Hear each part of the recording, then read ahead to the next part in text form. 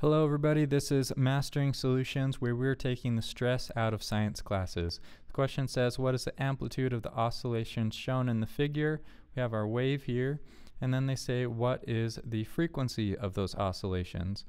So, in the wave, the amplitude is going to be how far away from the equilibrium point is it going? So, equilibrium point is our x axis here. It's going all the way up to 10 centimeters and then it's getting pulled back down and then it's going the other way down to negative 10 centimeters and then it gets pulled back and then it goes back and forth and obviously that's an oscillation.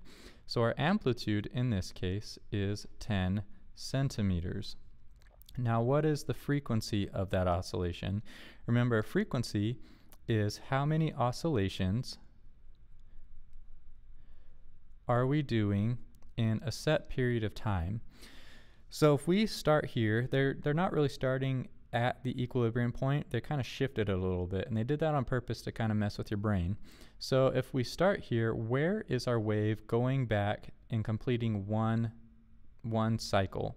So it's coming down, coming up, and coming back over, and boom, right there.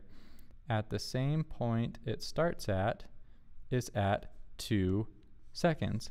So in other words, we just said we did one oscillation in two seconds, which gives us a frequency of 0.5 hertz, or a half of a hertz. All right, guys, so there you go. Part A is 10 centimeters, and for part B is a half of a hertz, or 0.5 hertz. If this video helped you out, please hit that like button and subscribe because we'll be coming out with more of your homework solutions every single week. Thanks.